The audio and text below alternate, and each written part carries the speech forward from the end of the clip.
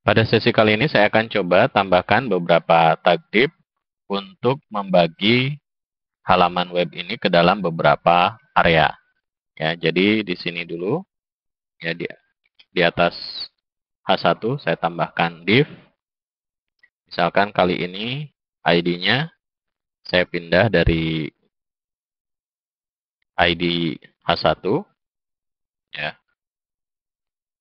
Nah, di sini juga sama ya untuk TOC-nya. Oke. Ini saya pindahkan ke bawahnya. Ininya kita pindah lagi. Oke. Kalau ini sudah ya. Berikutnya. Nah, untuk tag HR-nya kita hapus saja. Begitupun juga yang di atas ini. Oke, sudah tidak ada ya tag HR-nya. Ini kita tambahkan div. Oke, ini kita pindah. Kita spasi, kemudian kita cut ya, tombol Ctrl X.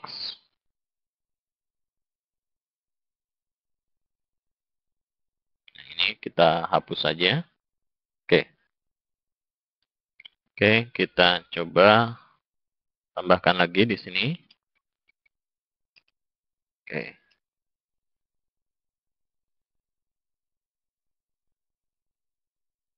Kita cut juga. Ini tag HR-nya kita blok saja. Kita timpa ya. Jadi sekalian dihapus. Oke. Nah, sekarang ini juga sama.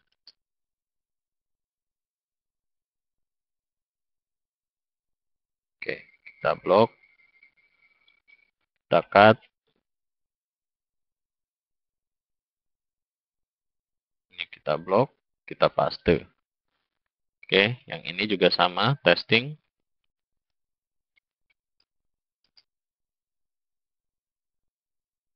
Oke.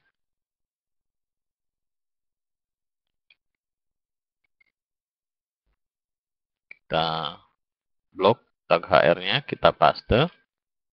Ini tag div lagi.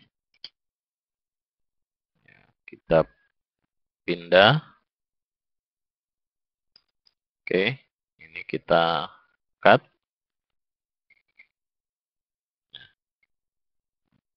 Di pastenya di sini ya. Nah, untuk ini kita tambahkan tag div ya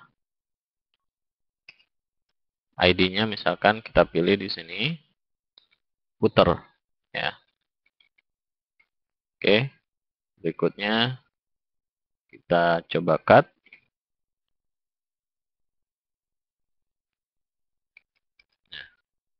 Kita pastinya di sini.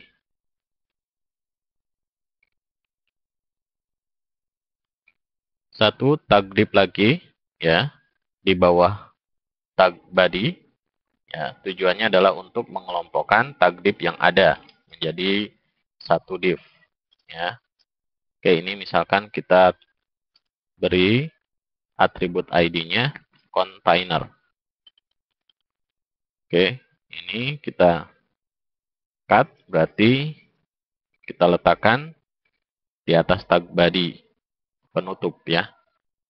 Atau setelah div dari ini, puter ya.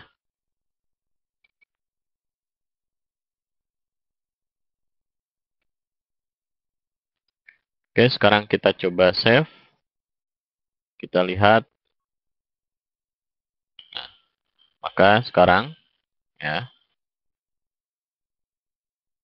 semua area sesuai dengan CSS rule yang ada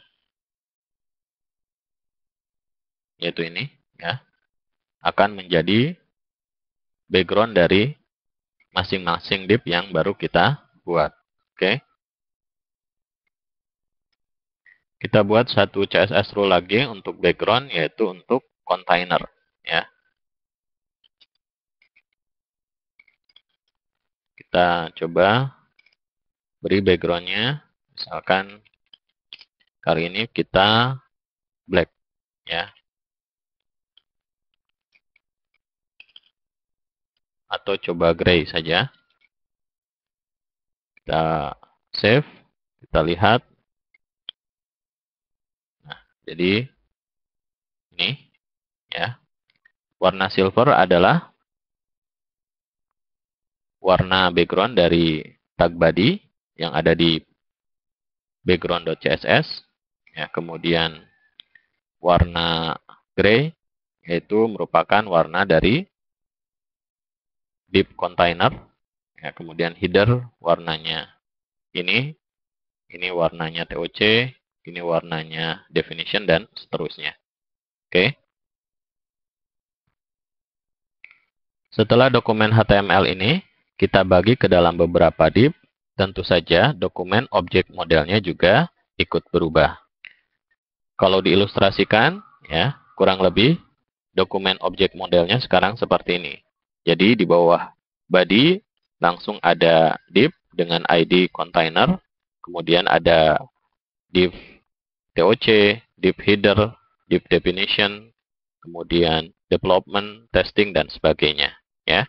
Nah, di bawah div lagi nanti ada beberapa ya elemen HTML seperti H2, tag P, tag UL dan sebagainya ya.